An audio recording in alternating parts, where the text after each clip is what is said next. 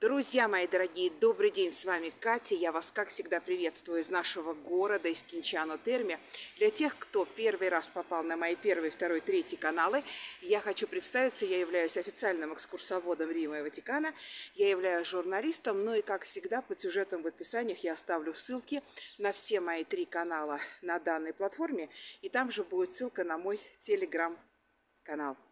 Ну, в первую очередь, сегодняшний мой сюжет, он будет посвящен моему второму каналу, который не так давно набрал 100 тысяч подписчиков.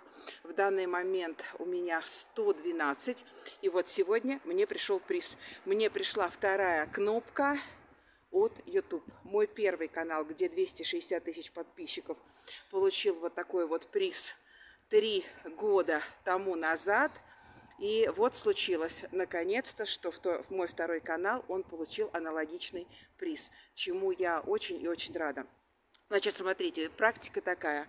Значит, когда ваш канал, он достигает, э, если кто-то из вас ведет YouTube-канал, достигает э, вот, это, вот эту цифру, заветная цифра 100 тысяч, а, надо отправить заявку. Значит, администрация данной платформы, они должны проверить на факт того, что все ваши подписчики настоящие.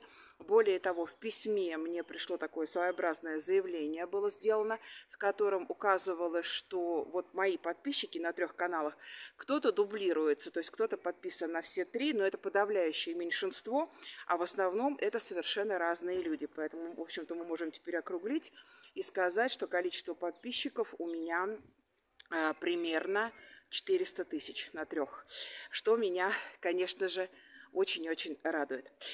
Итак, друзья, замечательный день, 1 марта, и, в общем-то, да, для меня сегодня такой своеобразный праздник. Теперь дальше, друзья мои дорогие, следующий момент, вот то, что я, конечно, хотела бы озвучить.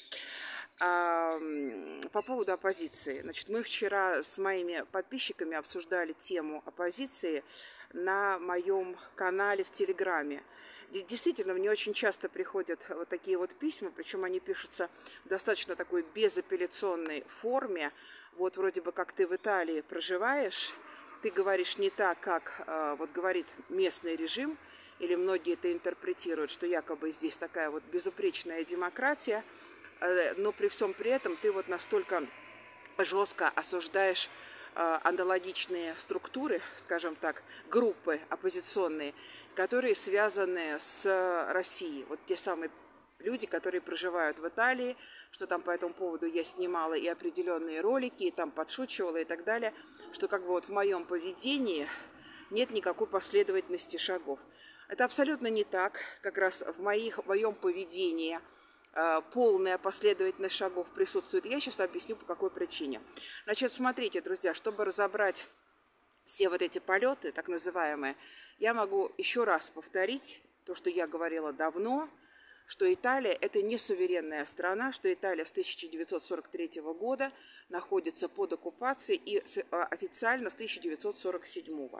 И, в общем-то, люди, итальянцы, им вот где уже это все, этот самый так называемый патронаж, который связан с вот с этими самыми властелинами колец, с хозяевами Рим, э, мира, со старшим братом и так далее, и так далее. Потому что правительство, оно прежде чем принять какое-то решение, в первую очередь это правительство, оно должно покланяться старшему заокеанскому брату. И от этого люди очень сильно устали. Что касается итальянской оппозиции. Я очень многих людей знаю. Мы познакомились 4 года тому назад примерно, когда к нам прилетело вот это вот и потом пошло вот это вот ложечки за маму, за папу и за дедушку мы должны были срочно ими всеми объесться. И как показывает, э, вот как показывает результат, что, в общем-то, те, которые с этим боролись и говорили, что, слушайте, ну, если хотите объедаться, пожалуйста, объедайтесь, если не хотите объедаться, то это личное дело каждого, и в Конституции итальянской это прописано. И оказалось, что мы были абсолютно правы, потому что количество проблем, которые появились у нас со временем, это я, в общем-то, не буду дублировать, я по этому поводу записывала э, очень много роликов. И а, а, по поводу, что касается итальянской оппозиции, почему у меня вот такое негативное отношение к российской и вот такое вот позитивное к итальянской? Почему? Потому что итальянцы, итальянская оппозиция, она борется за суверенитет страны. Она борется за то, чтобы не быть под патронажем вот этого самого старшего брата. Посмотрите, что сейчас творится э, в сфере сельского хозяйства. Я точно так же не один ролик по этому поводу записывала. Это ужас. Поэтому, да, то, что делают оппозиционеры – они требуют того, чтобы Италия вернулась в свое нормальное русло, чтобы сельское хозяйство оставалось сельским хозяйством, потому что здесь было распродано все. Оливетти, например, потом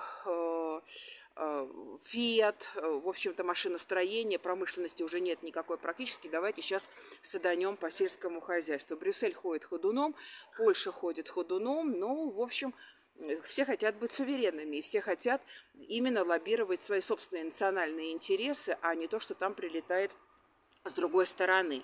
Поэтому, само собой, естественно, я поддерживаю тех людей, которые за суверенитет, а не за, за вот эту самую так называемую диктатуру, диктатуру старшего брата. Что касается России, российской оппозиции, они делают все как раз наоборот. Они поддерживают вот то, от чего пытается сейчас избавиться Европа. И многие люди, в первую очередь молодежь, э, в общем-то такая неокрепшая молодежь еще, они считают, что здесь у нас рай в Европе, вот, и, в общем-то, у нас здесь манна небесная, проблем нет никаких, а проблемы там придумывает какая-то пропаганда, а здесь все идеально. Вот. И, в общем-то, они, не зная на самом деле, что происходит, в Европе воистину то, что происходит, они поддерживают вот тех, которые, в общем-то, вот идут кланяться э, старшему брату.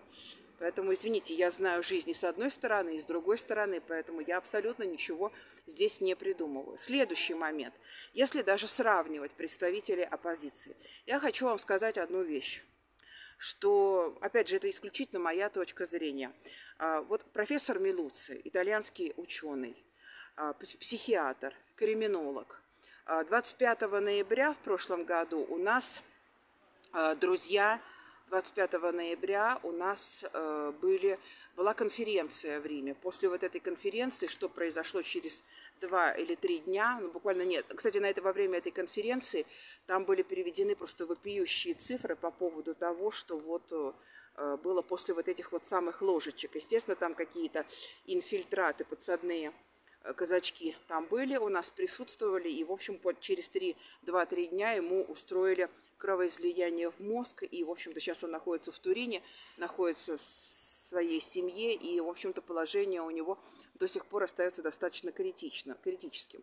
Это не случайно произошло. Вот видите, когда говорят там про этого про Навального, значит, там это вот все ему Владимир Владимирович устроил. А когда цена вопроса так называемая демократическая Европа, то, что здесь происходит, нет, нет, это Милуции никто не тронул, это случайность.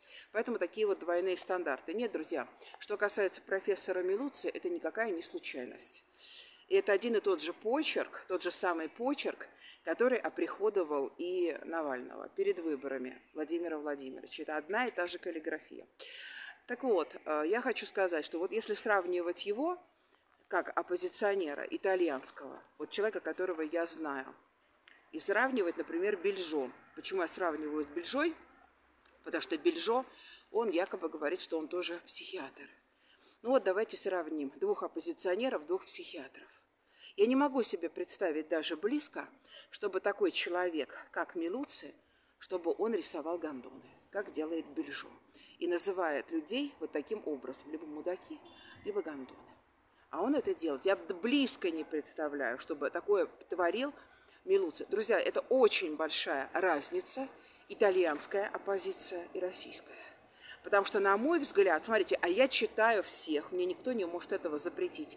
Я читаю всех. Да, кстати, я хочу сказать, что в свое время я прочитала и «Майнкамф», потому что я хотела собственными глазами, собственным умом понять, как Гитлер дошел до того, до чего он дошел. Поэтому мне не надо интерпретировать, мне не надо это пояснять, я хочу понять сама. Так вот, когда я сравниваю вот этих вот персонажей, наших, так сказать, бывших соотечественников, которые проживают в Италии, и я сравниваю с итальянской оппозицией, это небо и земля.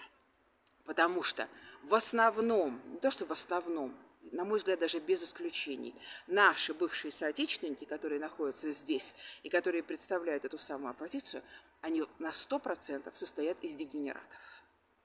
Или вот, например, Панин, ну, он не живет э, в Италии, но он приезжал в Италию И он спал возле церкви святых апостолов в Риме в пьяном виде, в непотребном виде вместе с бомжами. Поэтому как можно? Вот здесь такого нету.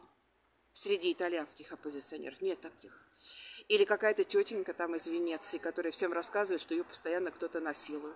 Вот как-то так складывается, что итальянских оппозиционеров их никто не насилует, а ее насилуют. Она об этом пишет целые опусы. Поэтому это очень большая разница. Это небо и земля. То, что предлагает, например, Франческо Тоскану, известный итальянский независимый журналист, да, у него чувство юмора, у него нет ненависти, как у Шандеровича. Потому что почитаешь этого, Шандеровича. Одна сплошная ненависть. Франческо Тоскано, у него отличное чувство юмора. Вот, поэтому, когда он зачитывает итальянскую прессу, он это все воспринимает с юмором. А юмор – это очень хорошее, хорошее позитивное качество, а на ненависти нет. Поэтому я считаю, что просто вот так называемая российская оппозиция, она просто интеллектуально не доросла до того уровня, которому должна была бы соответствовать. Поэтому я не могу, мне воспитание не позволяет, мне мое образование не позволяет, извините, их читать или тем более прислушиваться к тому, что они говорят, что они такое публикуют на своих страничках в соцсетях, что сравнивая с итальянцами, диву даешься, дегенераты. Вот и все. Поэтому я надеюсь, что я ответила на все ваши вопросы. Спасибо большое, вы меня поздравили уже в формате моего телеграм-канала. Спасибо большое, я вас очень люблю, и мы с вами увидимся в следующий раз.